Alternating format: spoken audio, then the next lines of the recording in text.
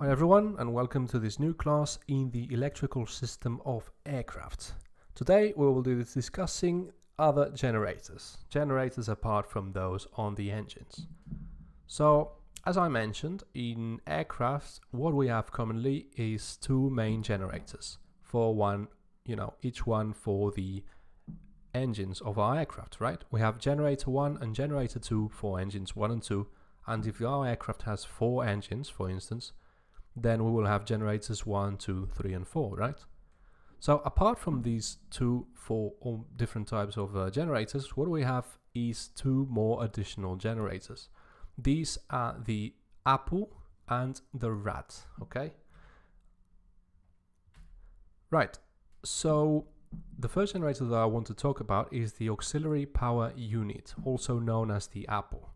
So the APU is a small jet engine which is normally located in the tail cone, cone, right? So in the end of the aircraft. But in some cases it's actually located in an engine nacelle or in the wheel well, depending.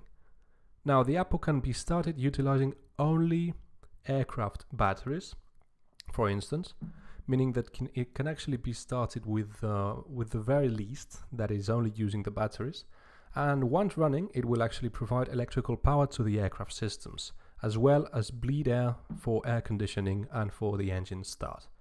Right, so we will discuss this a bit more on the pneumatic system, but the idea is that the auxiliary power unit can provide both electrical input to our aircraft and also air pressure for the different subsystems in our aircraft, right? So this is actually a pretty interesting um, power unit that we have in our aircraft and that is mostly used, it can be used as an emergency during flight, but it's mostly used when uh, in ground operations, okay? So that is before taking off and after landing.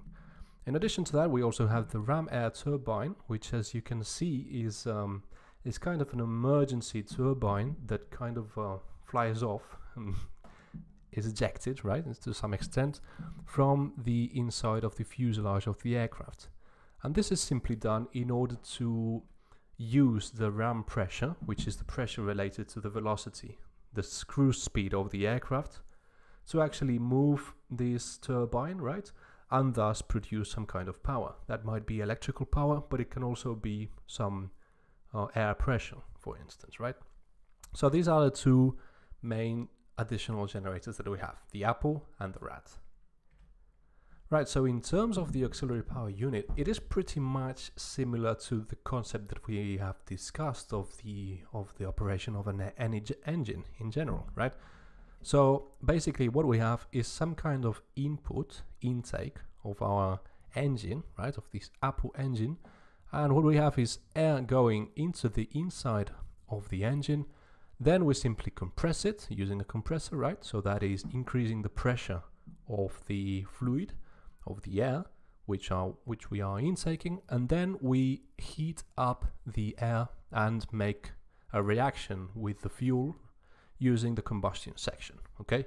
By combining these two elements as high pressure and high temperature we know that we really increase the enthalpy or we increase the amount of energy of that fluid meaning that we will end up with a higher velocity exhaust okay? So you might be wondering well, is the APU used in order to uh, increase the thrust then? Well, that's kind of um, a result of the operation of the auxiliary power unit, but it's not actually the main purpose of it. We we're not using the APU to generate thrust. We are using the APU in order to make sure that the shaft, right, that connects all of the different elements of the engine is actually rotated at a higher speed if we actually manage to get this shaft to move at a high speed, then we get a gearbox which can thus resulting, right, can actually move also at a high rotating speed. By having this gearbox moving at a high speed, as you know, the mechanical energy of movement can be transformed into electrical system, into electrical input, right? So we basically have, because of the fact that we are intaking this air, heating it up and at a higher pressure, we end up with a high rotating velocity of the gearbox, meaning that we are able to produce electricity.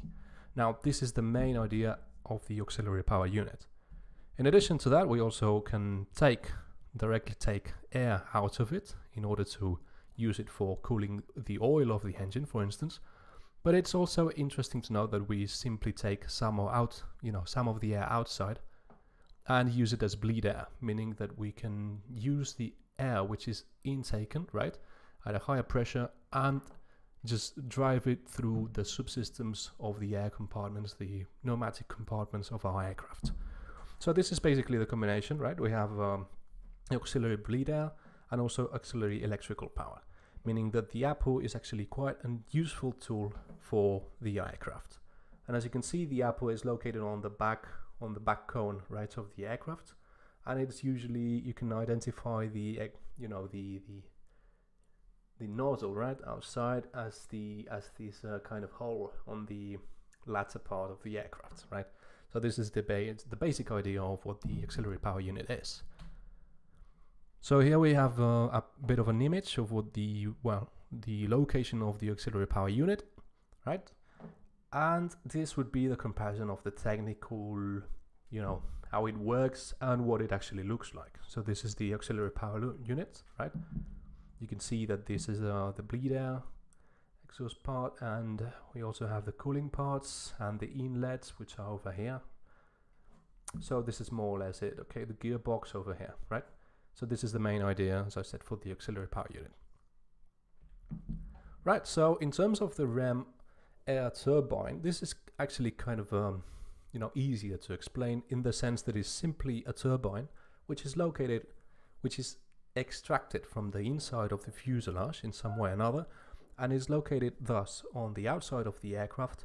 And due to the fact that we are moving at a high velocity and high speed we are capable of moving the turbine and so we can produce electrical input and also some pressurization of the air right?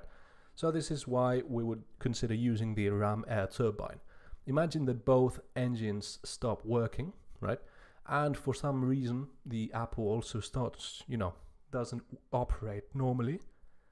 In that case we would need this kind of engine to make sure that because this as you can see it's completely reliable. The idea of just putting um, some kind of turbine outside of the aircraft is something that you can easily achieve in any situation right? And due to the fact that simply the aircraft is moving we will have the capability of producing generating electricity so this is the most fundamental idea of how to use you know, how to create electricity in an aircraft, right? So this would be all, the auxiliary power unit and the ram air turbine. Let's move on.